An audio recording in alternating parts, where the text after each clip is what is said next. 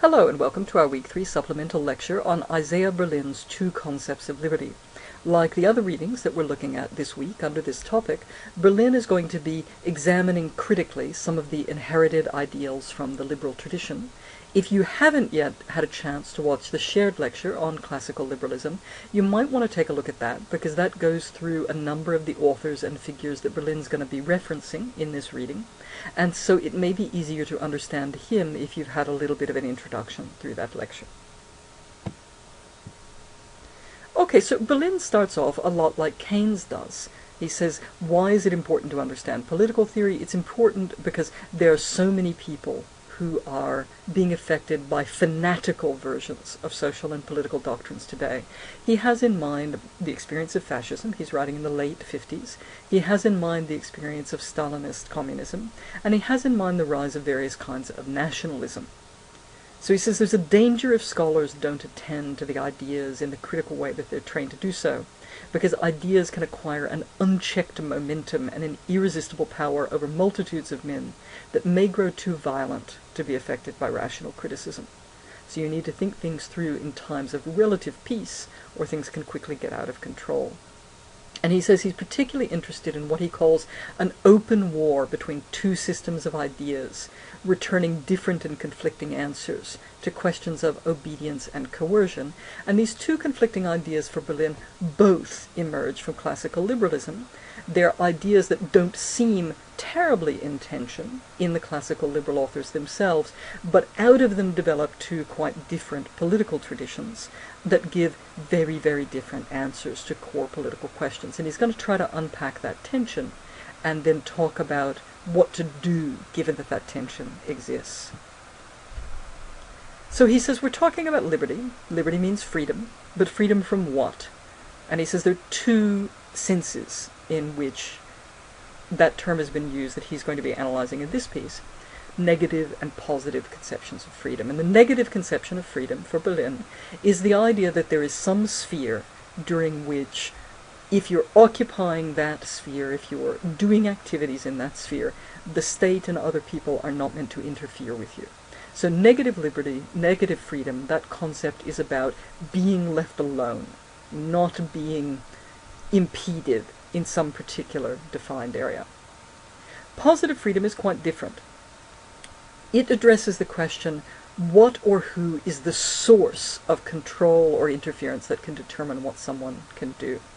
And positive freedom for Berlin is associated with the idea of self-control, self-direction, what we would think of as democratic ideals of self-governance or self-control, and traditions that he thinks derive from that ideal of self-determination, but that may in practice actually not have much to do with self-determination at all. Okay, and then he talks about the concept of coercion.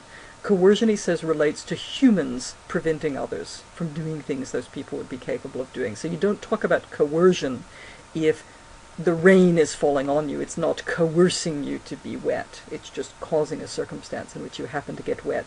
If a human dumps a bucket of water on you, that human is coercing you. They're engaging in an action that affects you.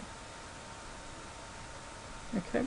And he talks about debates in the classical liberal tradition, what he calls the English tradition in, in political philosophy, although there's quite a number of French thinkers and eventually German thinkers that he's going to draw into that net as well.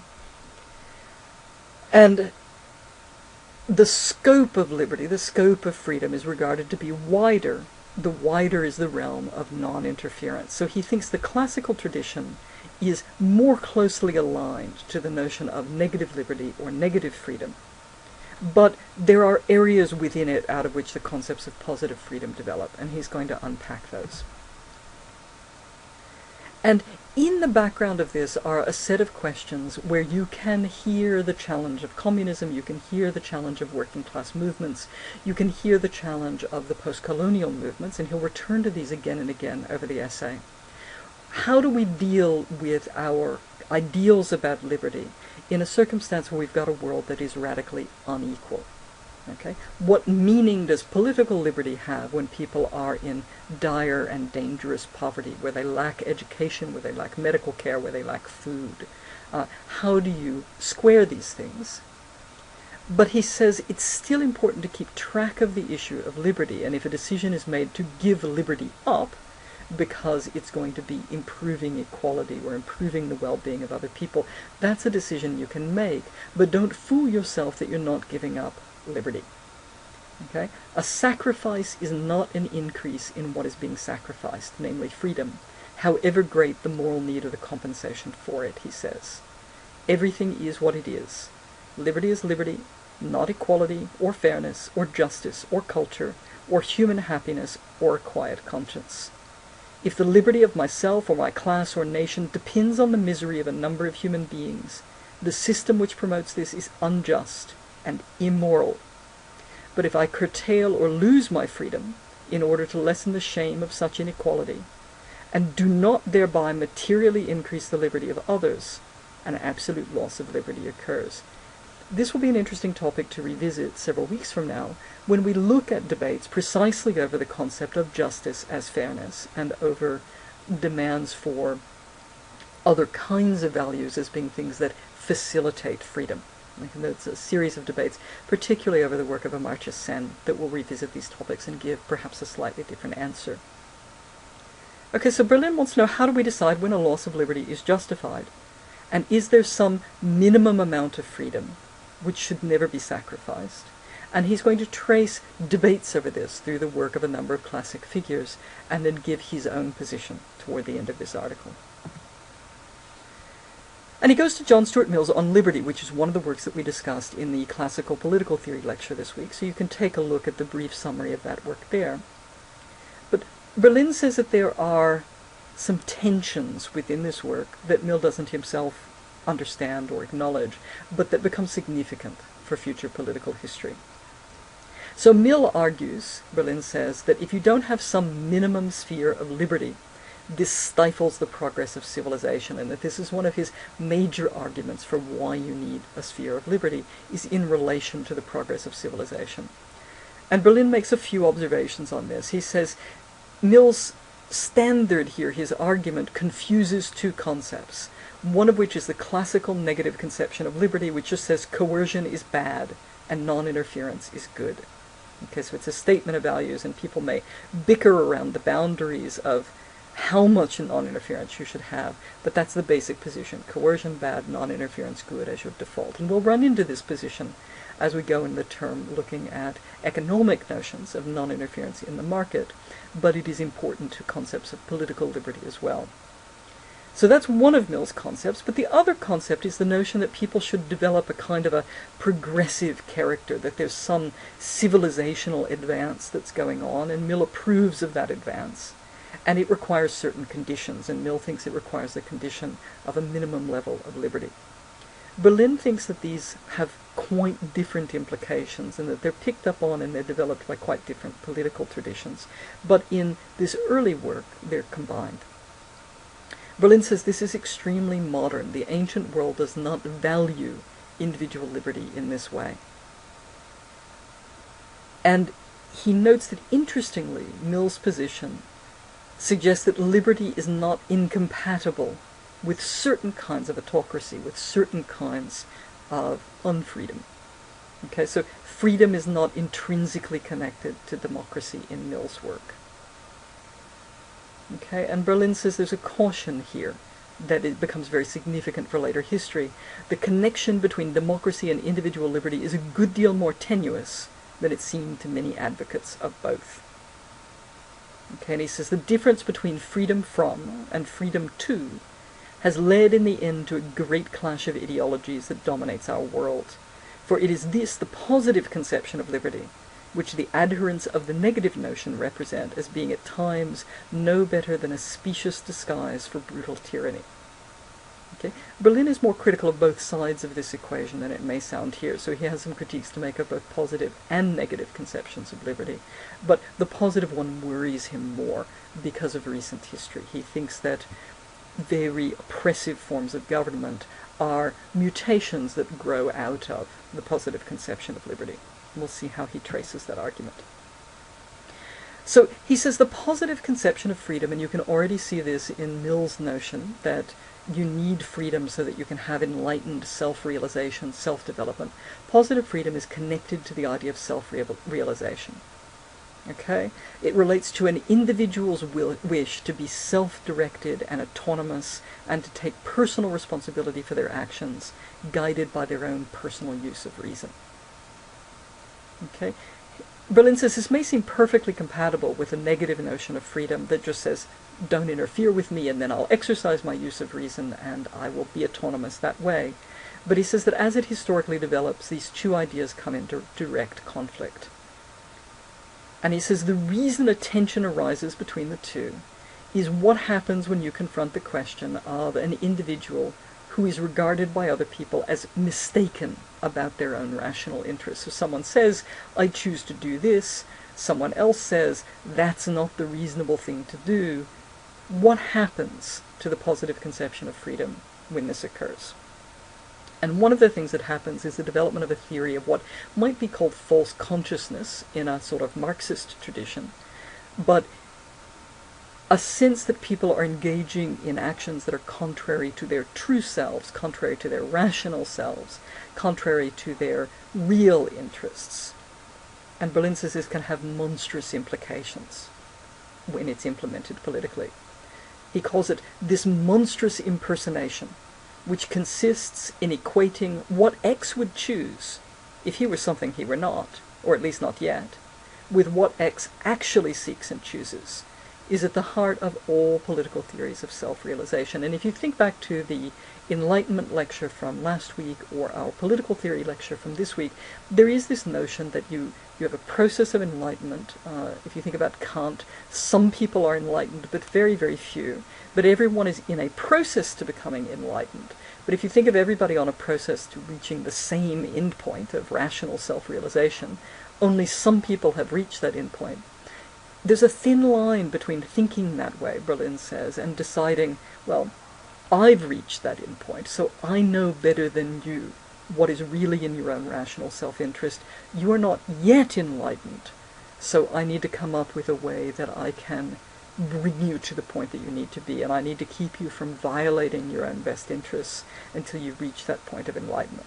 And Berlin says that implemented the wrong way politically, this can lead to just horrific consequences. He says, It's one thing to say that I may be coerced for my own good, which I'm too blind to see. This may on occasion be for my benefit, and he has in mind, you know, children one has to sometimes have do things that they don't realize is in their own best interest, but as parents you're meant to know that. What happens when we're parenting other adults in this way? Okay. It's another to say that if it is my good, I am not being coerced. For I have willed it, whether I know this or not, and I am free, or truly free, in scare quotes, even when my poor earthly body and foolish mind bitterly reject it, and struggle with the greatest desperation against those who seek, however benevolently, to impose it. Okay, one can hear sort of, if you've read Orwell's 1984, you know, these kinds of rationalizations in the background. And he talks about asceticism. Now we've, if you've listened to the lecture on classical social theories and, and gotten to the end where we talked about the Weber, uh, there's a number of people who think there's something particularly ascetic, particularly self-abnegating or self-denying about strands of modern political and social theory. So Berlin talks about a desire for a retreat to the inner citadel, he calls it. An ascetic route of running into historical obstacles, running into things that are very difficult to deal with, and deciding to respond to that in a stoic fashion by abandoning the desire for whatever it is you're having difficulty attaining. And he says all political isolationism, all economic autarky, every form of autonomy has in it some element of this attitude. I eliminate the obstacles in my path by abandoning the path. I retreat into my own sect, my own planned economy, my own deliberately insulated territory, where no voices from outside need be listened to and no external forces can have effect. This is a form of the search for security, but it has also been called the search for personal or national freedom or independence. Okay, so this is his sort of psychologizing interpretation of nationalist movements that are separating from older, larger imperial structures. It's his psychologizing interpretation of things like the Soviet Union, um, the attempt to create closed, relatively self-contained economies and states that have their own internal totalizing self-contained quality. And he says, strangely, it's not that dissimilar to Kant's notion of freedom as willed self-compulsion to overcome irrational passions and obey the law. Okay? And he'll develop this in a bit. He says, ascetic self-denial may be a source of integrity or serenity and spiritual strength, but it's difficult to see how it can be called an enlargement of liberty. And yet, historically, this is one of the rationalizations for it. He's interested in how that happens. There are problems with asceticism for Berlin. Okay? The nature of life is such that you will have obstacles, you will run into problems, you will run into things that are difficult to overcome. And you'd have to keep constricting the horizon, keep nailing things down, keep closing things off in order to try to keep within this bounded frame to avoid confronting those obstacles. And he sees in this a sort of a psychological dynamic that he thinks are manifest in more and more micrological forms of nationalist separatism or uh, planned and enclosed economic systems. And then he says, and this is quite harrowing given his time, self-abnegation is not the only method of overcoming obstacles. It is also possible to do so by removing them. Such acts may be unjust. They may involve violence, cruelty, the enslavement of others, but it can scarcely be denied that thereby the agent is able, in the most literal sense, to increase his own freedom. So violence is one way to secure your freedom. It may suppress somebody else's. He says, it is an irony of history that this truth is repudiated by some of those who practice it most forcibly. Men who, even while they conquer power and freedom of action, reject the negative concept of it in favor of its positive counterpart.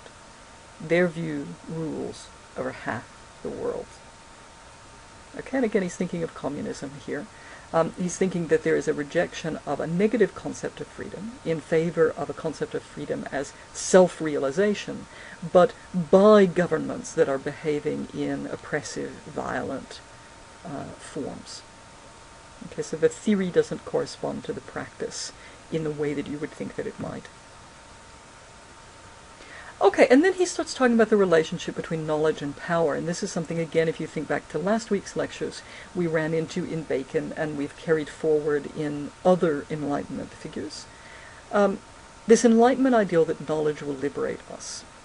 And he talks about a few figures, including Marx, whom we run into this week as well, who share the idea that knowledge liberates, but add the need to grasp history and not just the natural world. Okay? The claim that human nature is not static, it is not something preset, it is not something given in any kind of fixed way by nature. It's shaped radically by social institutions. And if you can understand how this happens, it can have very transformative impacts. And again, many of the oppressive political regimes that Berlin has experience of in his lifetime are regimes that are founded on the idea of the plasticity of human nature and on the possibility of constructing social institutions to create fundamentally new kinds of history. So this is an idea that doesn't seem necessarily problematic when it's originally stated philosophically in the 19th century, but it moves in horrific directions when actually put into practice in the 20th century. Okay? And he says that this notion of history comes to be aligned with the positive notion of liberty as self-control or self-direction, rather than the negative notion of liberty as a field within which there aren't any external obstacles placed in your way. He says this is the positive doctrine of liberation by reason. Socialized forms of it, widely disparate and opposed to each other as they are, are at the heart of many nationalist, communist, authoritarian, and totalitarian creeds of our day. It may in the course of its evolution have wandered far away from its rationalist moorings. Nevertheless, it is this freedom that in democracies and in dictatorships is argued about and fought for in many parts of the earth today. okay, so something happens. We shift from an individualist conception of rational self-direction into the idea of rational self-direction through the recreation of a society by a party or a band of people who think they know where society ought to go and how people ought to be reconfigured.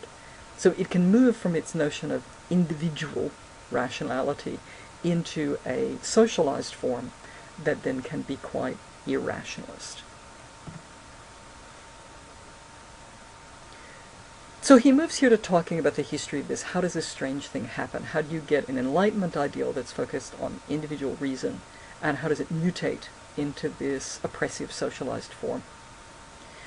The Enlightenment ideal of freedom as rational self-direction, which is something that has a very strong support from Kant, is associated with a belief that the will to domination over other people, that these sorts of oppression and violence that characterize society, is irrational and therefore will die away with the creation of a rational society. So you get a rational, just society, and a lot of the bad elements of human behavior will fade away because you'll have rational people in the rational society. The assumption also is that rational people would come to the same goals that that's what reason means. And we've talked about the issue of the Enlightenment struggle, the confrontation with other cultures, the confrontation with religious warfare, and the desire to work out how it is that you can achieve certainty over your frame of reference uh, given all of the uncertainties of history, given the diversity of culture, and the idea that reason was a common quality among humans that we've run into now in several forms, and that this common quality, if directed to a common object, to nature or to history or to some defined shared object, and applied with a common method, would lead people to agree to a common result. So Berlin is saying that there was a kind of a utopian optimism that rational people would want the same thing, would have the same goals. And if that were the case, the issue of how to construct a society oriented to those goals would just become a technical problem. You don't have to worry about the problem of how to get people to agree about what they want. You just have to worry about how to implement that in the best and the most efficient and the most humane kind of way. And the assumption was that a correct, rational plan for your government, for your economy, would not require coercion because everybody would just be asked to do what was best for them in their true rational selves. Okay, so what was truest to them, their truest needs, their truest self, would be accommodated in the plan. So he says the common assumption of these thinkers is that the rational ends of our true natures must coincide or be made to coincide however violently, our poor, ignorant, desire-ridden, passionate, empirical selves may cry out against the process. Freedom is not freedom to do what is irrational, stupid, or wrong. To force empirical selves into the right pattern is no tyranny, but liberation. Okay, so it assumes a very strong confidence that the set of people who's going to be doing the social engineering knows what's right knows what the true rational self is and that there is one true rational self. He accepts the anarchists. Uh, he doesn't say much about this, but he says the anarchists sort of see how you could think through this in a more consistent way and are more consistent about the liberty, the freedom dimension of how one might think about this. But except for the anarchists, he says in due course the thinkers who bent their energies to the solution of the problem on these lines came to be faced with the question of how, in practice, men were to be made rational this way. Clearly, they must be educated. Okay, and again, this sounds more sinister to people on this side uh, of 20th century history, where we know the coercive forms of re-education that were associated with totalitarian governments, but it wouldn't have sounded so sinister if you were in the 18th century talking about enlightenment, as we saw some people doing last week, uh, where education seems like a bold, almost social justice issue, okay, and it doesn't have those sort of sinister connotations that it comes to have. And so you get an Enlightenment push for self-determination predicated on reason, and Berlin thinks that historically it takes an irrationalist turn. And he thinks that the concept of rational self-direction is ironically quite vulnerable to irrationalist appropriation. He says, this is the argument used by every dictator, inquisitor, and bully who seeks some moral or even aesthetic justification for his concept. I must do for men, or with them, what they cannot do for themselves. And I cannot ask their permission or consent because they're in no condition to know what's best for them. Indeed, what they will permit and accept may mean a life of contemptible mediocrity, and perhaps even their ruin and suicide. Now, he doesn't claim that this is a logical development from these Enlightenment forms of thought.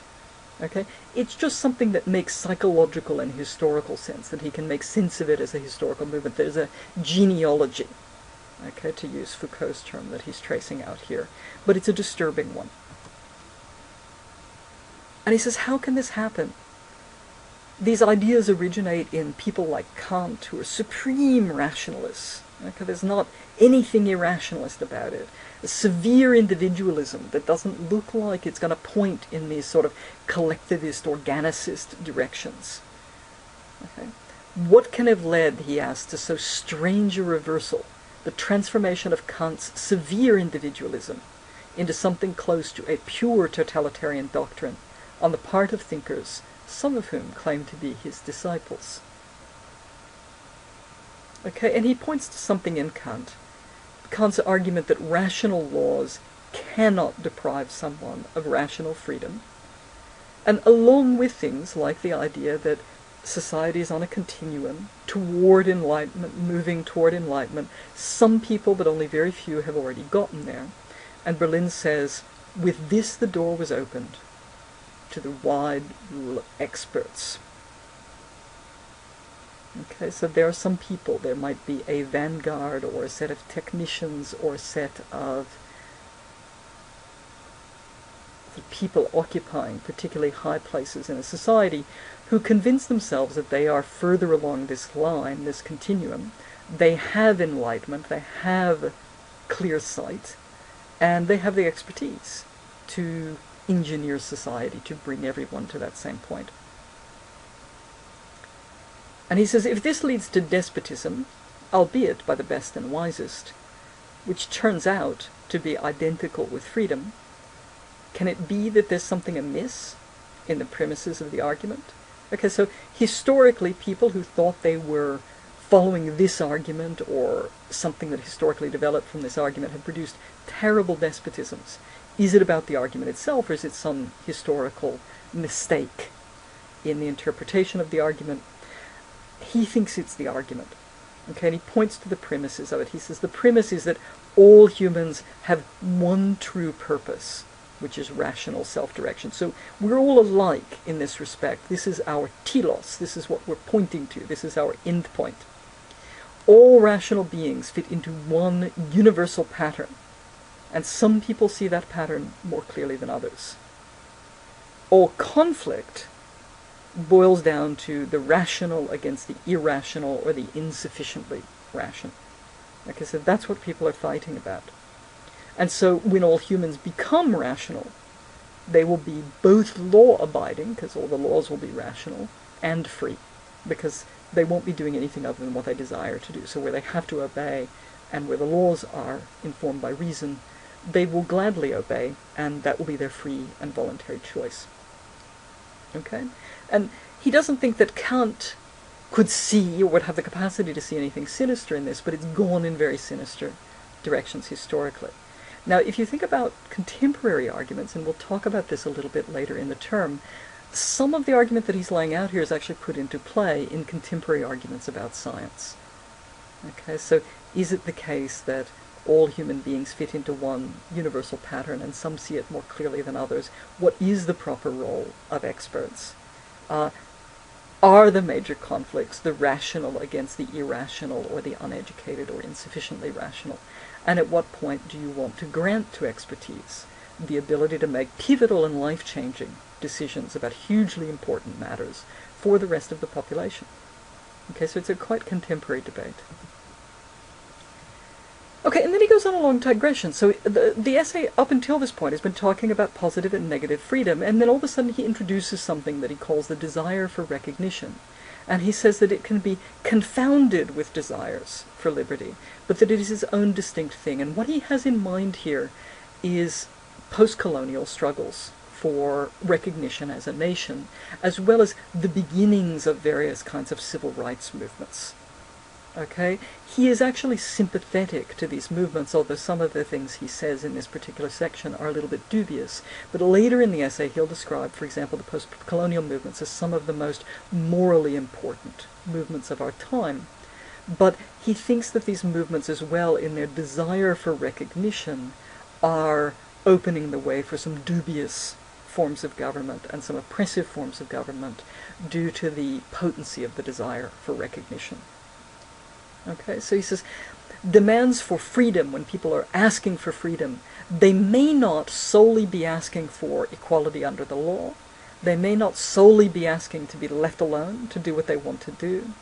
They may not be asking, in any sense, for this sort of rational self-direction of their affairs. So they may not be asking solely for either negative or positive liberty, as he's defined it. But he says what oppressed classes or nationalities as a rule demand is neither simply unhampered liberty of action from their members, nor above everything equality of social and economic opportunity, still less assignment of a place in a frictionless organic state devised by the rational lawgiver. What they want as often as not is simply recognition of their class or nation or color or race as an independent source of human activity as an entity with a will of its own, intending to act in accordance with it, whether it is good or legitimate or not, and not to be ruled, educated, guided, with however light a hand, as being not quite fully human, and therefore not quite fully free. Okay? So there can be demands in addition to demands for liberty. There can be demands when people are making demands for liberty that they also want demands for recognition. We'll talk about movements based primarily on demands for recognition when we talk about social movements later in the term, and I talk about that just a little bit in the social movements lecture this week. He says, it is this desire for reciprocal recognition that leads the most authoritarian democracies to be at times consciously preferred by their members to the most enlightened oligarchies, or sometimes causes a member of some newly liberated Asian or African state to complain less today when he is rudely treated by members of his own race or nation than when he was governed by some cautious, just, gentle, well-meaning administrator from the outside. Um, it's a problematic sentence. The issue of how many of these administrators for the outside could be described with those adjectives. Um, but he nevertheless has a, a question here. He wants to know, he's worried about nationalist movements for self-governance that themselves take oppressive forms and why these are accepted by peoples who threw off the oppression of colonial powers. Okay, so desire for recognition is different from either positive or negative conceptions of liberty, but it can be confounded with those so that people say they want freedom, but it is this recognition that they want. And the desire for recognition, he thinks, can sometimes be to the benefit of authoritarian forms of government. There are other ways to analyze why you might be prone to get authoritarian forms of government in places where the colonial state leaves, often leaves things in some state of, of social, political, and economic chaos, uh, and then what sorts of governmental forms pick up where that leaves off. But we'll take a look at those later in the term. So he talks about an ambiguity in the concept of liberty, and it's an ambiguity that goes all the way back in the liberal tradition. He says that fights for freedom have generally been fights for the right to self-determination, rather than fights for negative liberty. So people are not usually assembling as a group and saying, we want a space free from the interference of the state and other people. They're usually assembling as a group and saying, that they want representation, that they want to be able to control the form of their government and vote on what happens to them or decide what happens to them.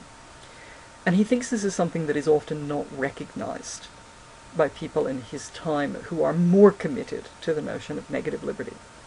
It is the non-recognition of this psychological and political fact which lurks behind the apparent ambiguity of the term liberty that has perhaps blinded some contemporary liberals to the world in which they live. Their plea is clear, their cause is just, but they do not allow for the variety of basic human needs, nor yet for the ingenuity with which men can prove to their own satisfaction that the road to one ideal also leads to the contrary. And he talks about the French Revolution as an example of this. So self-determination is important, even if it devolves into terror. Okay? Now he says this conflict is actually perceived by some of the 19th century liberals, at least in certain forms. So he talks about passages in the 19th century text where people will say things like the form of government is less important than how much power it concentrates. Okay? The fact that you consent via your social contract to have less liberty is not a way of preserving your freedom. So the fact that you've consented to something has nothing to do really with whether you are free through that consent. And a commitment in the negative tradition of liberty that you need to establish a system of rights that sits above government and limits it, and that you have a set of boundaries that are understood to be things that government cannot cross. Okay, and we'll run into this again. Is this right? Is government meant to be omnipotent? Or is there a founding set of rights, whether they're grounded in nature or in some kind of international law, that are meant to stand above what people can vote on and check the power of their government? So he says there's a fundamental conflict.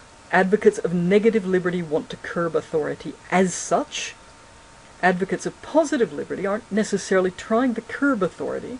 They want authority placed in their own hands. And he says these are not two different interpretations of a single concept, but two profoundly divergent and irreconcilable attitudes to the ends of life. Each of them makes absolute claims, these claims cannot both be fully satisfied.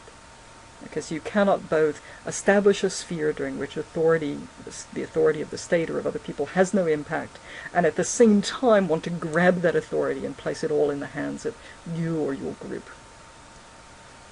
He says it is a profound lack of social and moral understanding not to recognize that the satisfaction that each of them seeks, the satisfaction that each concept of liberty seeks, is an ultimate value, which both historically and morally has an equal right to be classed among the deepest interests of mankind.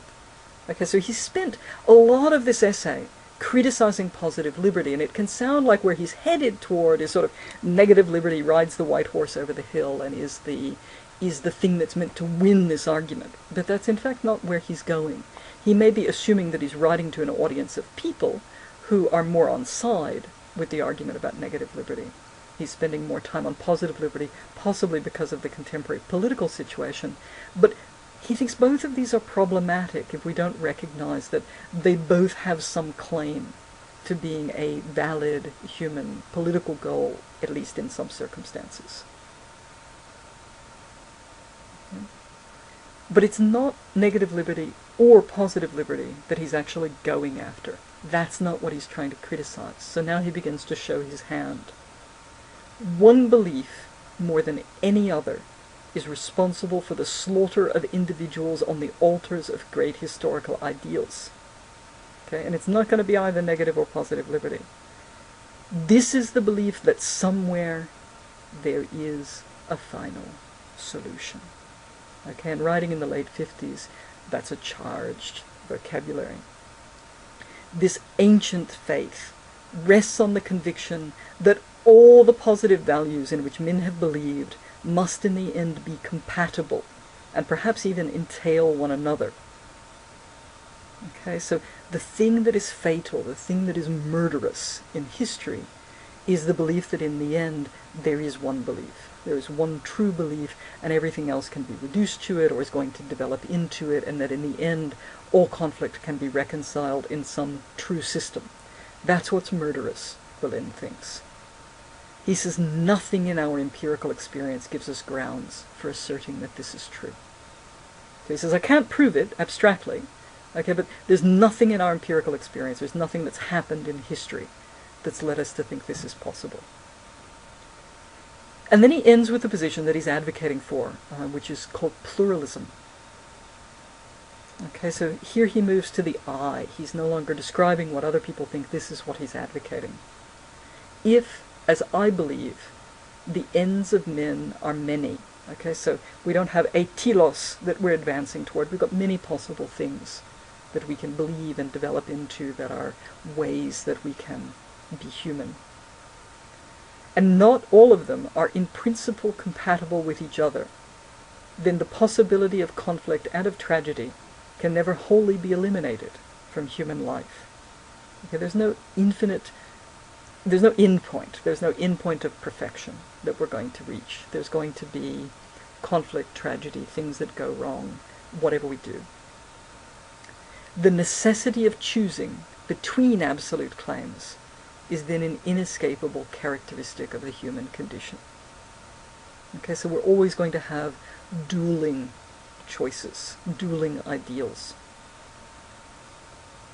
Pluralism, with the measure of negative liberty that it entails, okay, so pluralism as a concept has an idea that you keep the state out of certain aspects of people's choice of which ideal they're going to prioritize and follow personally.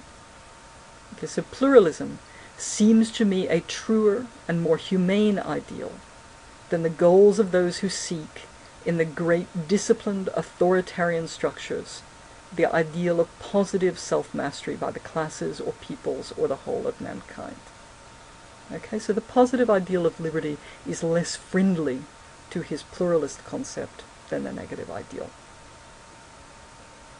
It is truer because it does at least recognize the fact that human goals are many, not all of them commensurable, and in perpetual rivalry with one another.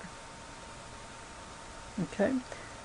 We'll look at how pluralism develops as well, and other people who advocate for allowing a range of possibilities for human ideals as we move through our political topic uh, it emerges in various ways. It also gets attacked as a form of relativism. Relativism is the, um, the enemy uh, of a lot of approaches all the way through the course. Okay, but we'll talk about those as we move forward.